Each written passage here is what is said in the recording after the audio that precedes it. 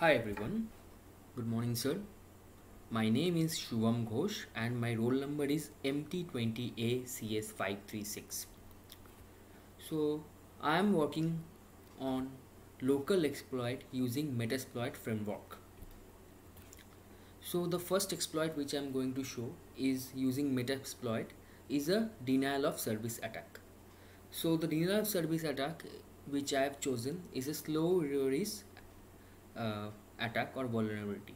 So slow release is a type of denial of service attack tool which allows a single machine to take down another machine's web server with minimal bandwidth and side effects on unrelated services and ports. So I'm going to give a little bit overview of what slow release attack is. So the attack first opens multiple connections of the target server by sending multiple partial HTTP requests the target opens a thread for each incoming request with the intent of closing the thread once the connection is completed. In order to be efficient, if a connection takes too long, the server will time out the exceedingly long connection, freeing the thread up for the next request. So this is the slow release output. Slow release accomplishes the denial of service by opening connections to the target web server and sending partial request. By doing so, it starves the HTTP server's resources by causing the denial of service. So this one is an example of a metasploitable web UI which is vulnerable to slow release attack. So that's the reason this uh, URL is facing denial of service. So how to prevent slow release attack? So first of all, we need to be very uh, careful about uh, the server availability. We need to increase the server availability. So increasing this maximum number of clients the server will allow at any one time will increase the number of connections. The attacker must make uh, before they can overload the server. Realistically an attacker may scale the number of attacks to overcome server capacity regardless of increases. Rate limit incoming request is another way in which we can prevent slow attack so restricting access based on certain usage factors will help mitigate a slow release attack. Techniques such as limiting the maximum number of connections a single IP address is allowed to make, restricting slow transfer speeds and limiting the maximum time a client is allowed to stay connected are all approaches for limiting the effectiveness of uh, slow attacks. Next one is cloud-based protection in which we can prevent slow release attack. We use a service that can function as a reverse proxy in this way we can protect the server. So now let's begin the exploit. So here is my Kali Linux and Metasploitable running. So I have already uh, made, uh, did a scan on Metasploitable with the IP as 192.168.0.113 so I have used a script scan script nmap scan. Nmap hyphen v script vulnerable 192.168.0.113 this is the ip of my metasploitable. 192.168.0.113 the reason i did this uh, scan beforehand because this scan uh, took around 5 minutes to complete. So here if we go down we can see the metasploitable is vulnerable to slow release attack so from here we can conclude that we we will be able to uh, do a denial of service attack. We will be able to make uh, the denial of service attack using slow release so this is one exploit which we can try in msf console. So let's uh, start the console.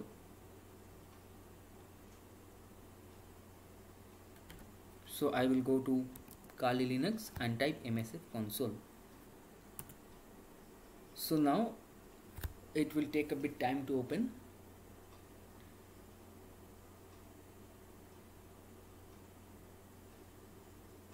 So now I will uh, search for slow release search slow release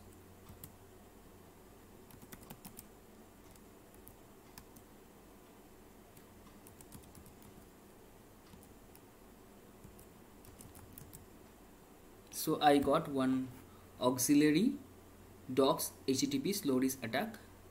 This is a slow release denial of service attack which is inbuilt in metasploitable console ms console. So now i'm going to use this.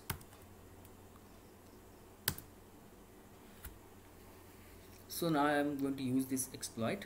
So i'm going to see the options present here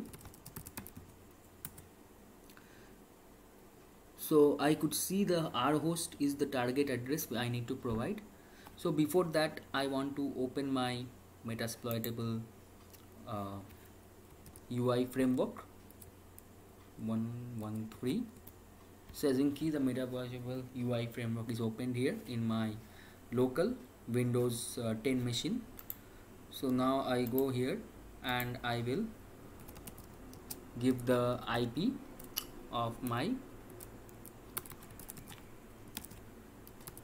metasploitable.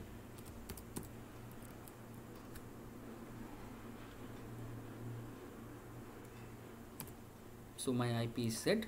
Now I'm going to start the attack. Starting the server attacking this one with 150 sockets.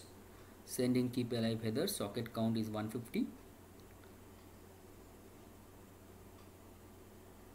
so the attack is now started.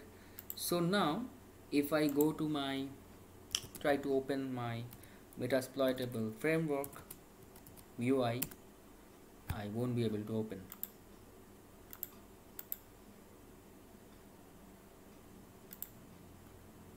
So see it is continuously revolving which means that it is now a victim of denial of service. With the help of MSF console I was able to attack the system. Metasploitable system. So you can see it's sending keep alive headers with socket count as 150 so now I will press ctrl C. So now I will be able to get access to it. So now metasploitable is up and running. So this is my first exploit. Now coming to my second exploit The second exploit is related to BlueKeep exploit. So BlueKeep is a security vulnerability that was discovered in Microsoft's remote desk protocol implementation which allows for the possibility of remote code execution. So I'm going to give a little bit information of this BlueKeep exploit. So it was first reported in May 2019. It is present in all unpatched versions of Windows NT based of Microsoft Windows from Windows 2000 through Windows Server 2008 R2 and Windows 7. Microsoft issued a security patch uh, versions of Windows that have reached their end of life such as Windows XP on 14 May 2019. So basically BlueKeep uh, uses the concept of reverse TCP shell to exploit the Windows machine.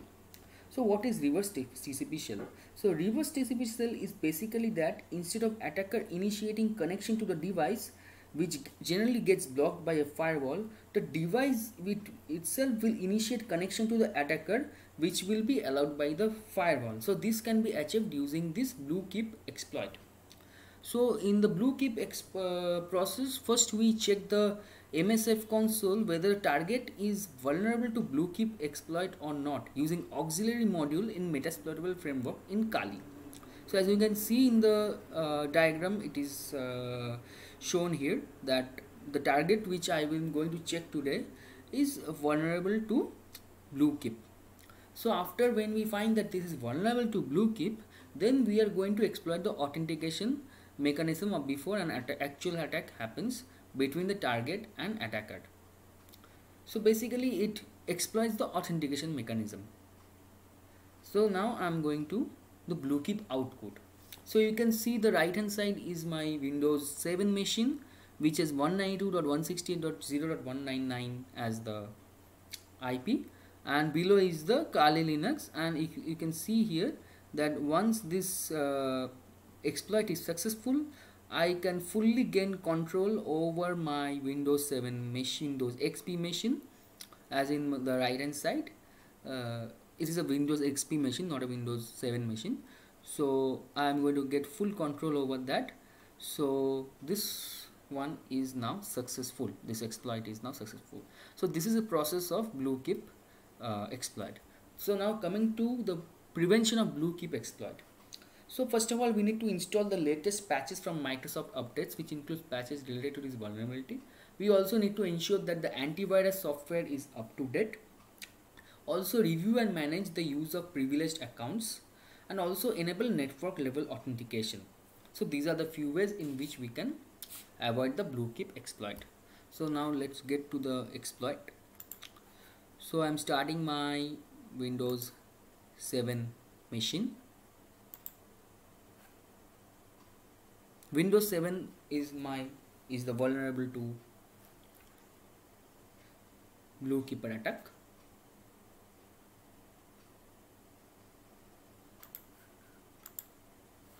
Basically this one is a Windows 7 machine not an XP machine. Yeah. so my Windows 7 is starting up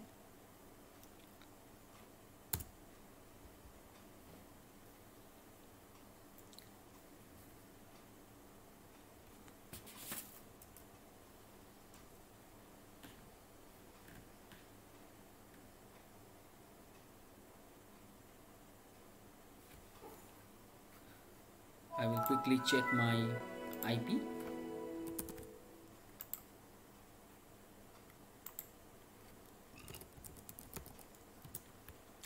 it's the 192.168.0.119 I will note it down.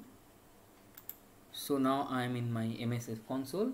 So I'm going to use the auxiliary scanner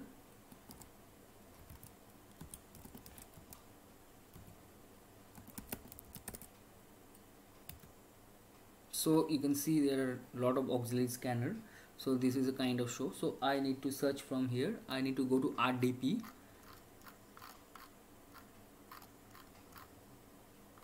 since I know the scanner which I need to run so I can directly go to use slash auxiliary.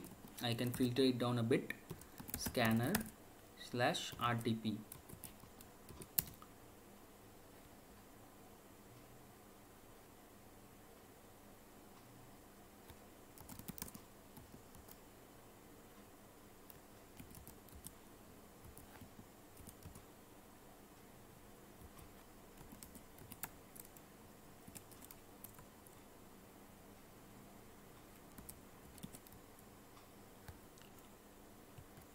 so I'm now able to go through that auxiliary scanner. So I'm going to see the show options what are the options I need to give. I can see the R host is the target machine. So I will give set R host 192.168.0.199 this is my Windows 7 machine. So now I'm going to run so it is telling that the target is vulnerable to BlueKeep so now I can use the exploit directly. I will go to the exploit. And basically it's a Windows exploit so I can direct Windows. And I also know it's an RDP exploit so I can like RDP and for RDP there is only one uh, exploit with CB 2019 this is a newly released 2019 uh, exploit. I'm going to set the R host to my I'm going to see the option now.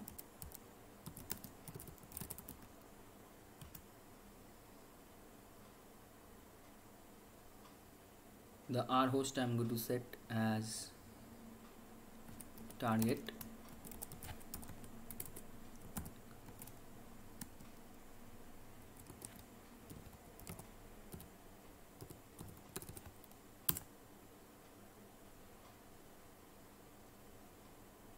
I'm going to set the payload as generic shell reverse reverse TCP so now I will start the exploit. And once the exploit is completed we will be able to see the output like this as I've discussed already we will be able to get full access to my Windows 7 machine so these are the exploits which I have shown in this assignment for the local exploits. Thank you for listening to me. Thank you, sir. Bye bye.